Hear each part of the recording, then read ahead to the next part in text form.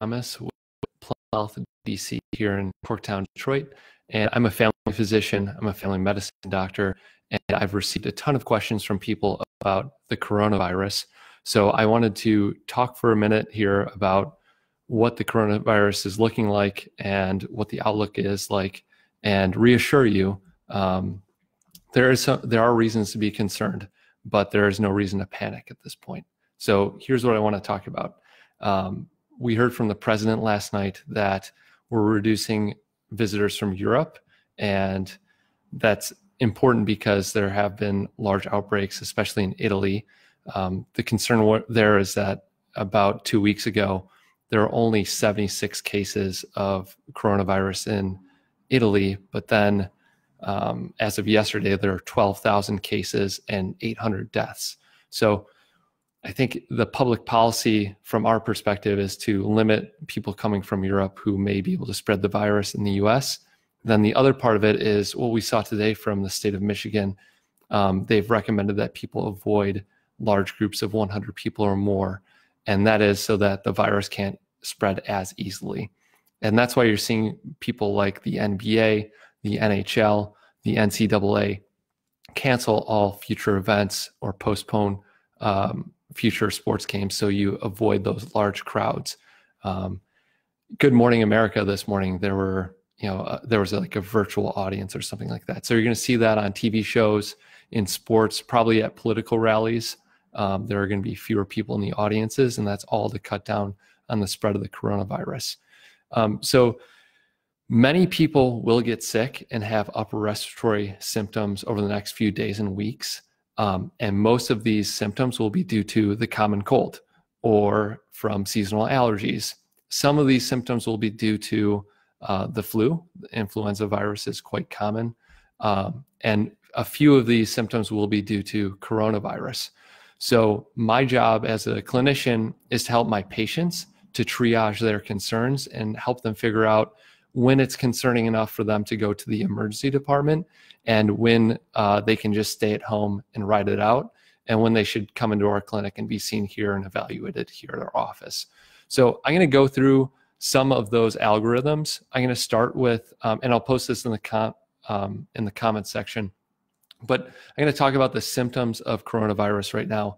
Uh, the most common symptoms that are being seen are fever cough shortness of breath and um, a history of a recent travel ex- or a recent exposure to someone with the coronavirus. So, this is a virus that is mainly affecting people's lungs, and they're having coughing fits, and it can cause some respiratory distress. So, um, fever is great is seen in more than 75% of hospitalized cases. Um, cough is seen in 60 to 80% of cases. It can be a dry cough or it can be a productive cough and shortness of breath occurs in 20 to 40% of cases. Um, people can also present with headache, sore throat, a runny nose. That's in less than 15% of cases. And some people may have diarrhea or nausea and vomiting. That's seen in less than 10% of cases.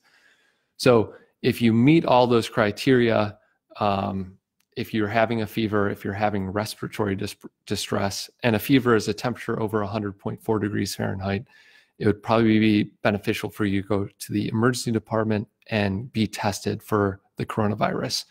As as of right now, we do not have any coronavirus tests. Those are coming out shortly, apparently through uh, companies like Quest Diagnostics and LabCorp. We haven't received any from from the federal government or state government or local governments.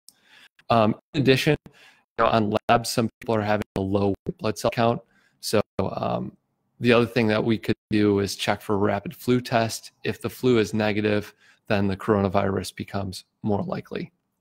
Also, chest x rays have been a useful tool. They've been found to uh, see like a ground glass opacity in the lungs, and that's uh, more in the peripheral distribution, and that's more likely for the coronavirus.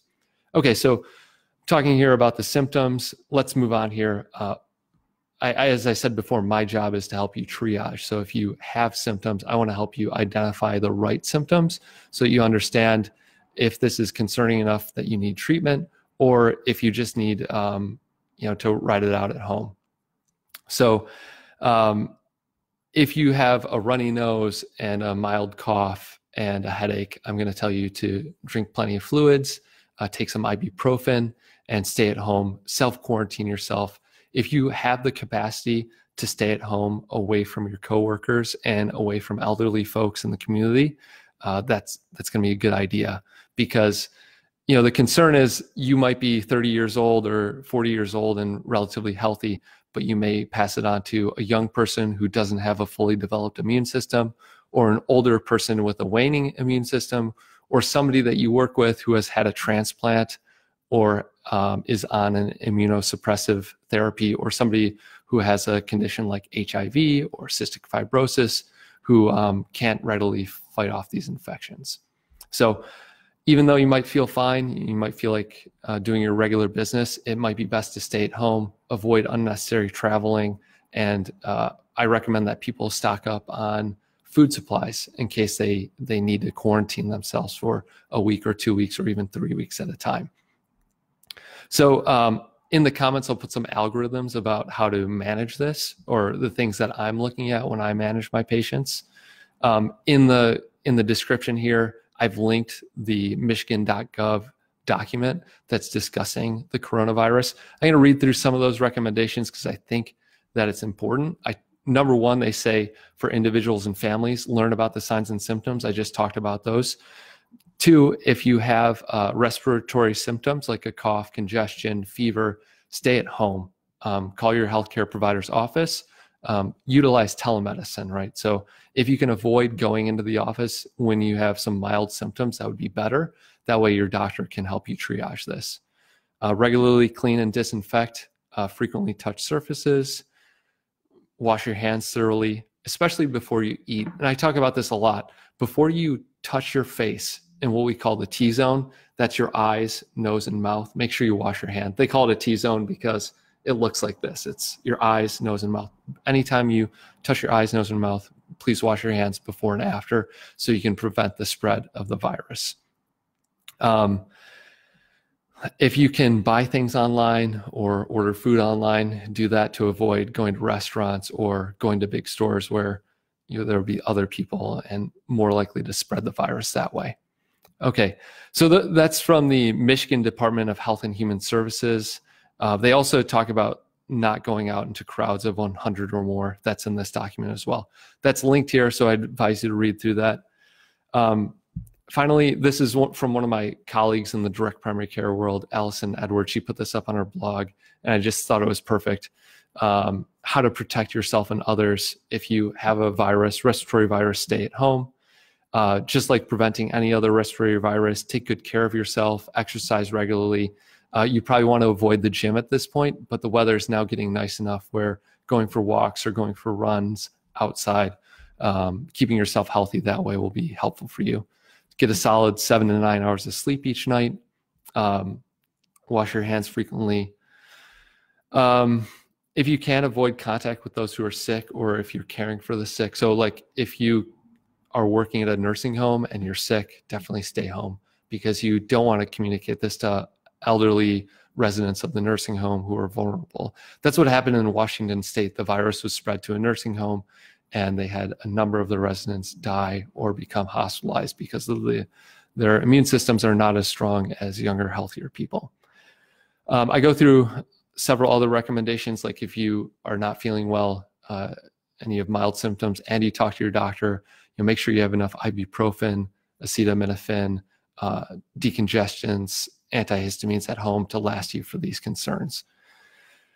Um, just a few notes about the coronavirus. You know, we've all had a coronavirus in the past. What makes this one different is that it's a novel coronavirus, uh, or yes, it's a novel coronavirus. The COVID nineteen is is a new virus that we haven't seen before, and the the typical mortality for the influenza virus is 0.1 percent. So one out of every 1,000 people who get the flu are going to die, right? But when you compare that to COVID 19 or the coronavirus, about 2 to 3% of people will die when they contract the coronavirus. Those are the early estimates. That's playing out uh, in, in Italy. Uh, and uh, China, the data isn't as transparent, so it's harder to tell how many people have died from the coronavirus. Uh, the median age out of China for the coronavirus infection is 59 years. Um, and then people tend to infect 2.2 other people. So once somebody gets it, they tend to infect 2.2 other people. And that's how these things spread. It's a virus, it goes viral, it can, can contaminate surfaces and infect other people pretty easily. And then the average length of time from onset of symptoms to hospitalization was nine days to 12 days.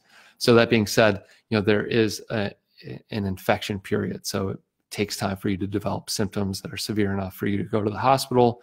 So that's why it's important to avoid large crowds because you could be unknowingly spreading the virus to other people in your community.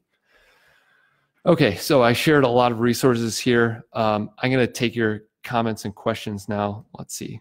We've got, uh, let's see how I can see these comments.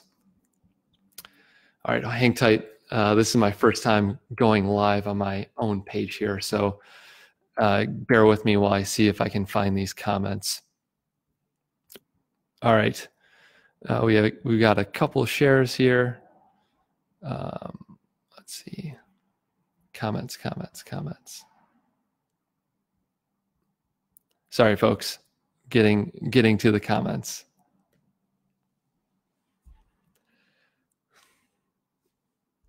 Thanks for the shares, everybody. Everybody, thanks for the likes and uh, talking about this information. All right, somebody said, thanks for the excellent information. We got a couple tags here, um, a couple thank you notes. If you have any questions, just drop any questions that you have in the comment section below. I'm trying to keep an eye on it here, but uh, I don't have any questions at this point. So what I'm going to do is um, review this post over the next couple days, uh, next couple hours, and I'm going to come back to it and answer any questions that I can. So uh, thank you very much for watching. I'm going to include more links as they become relevant in the comments, and I also discussed some things that I would link in the comment section. So I'm going to put those in now. Uh, for now, stay safe, wash your hands well, don't panic, and take care of yourself. All right, take care.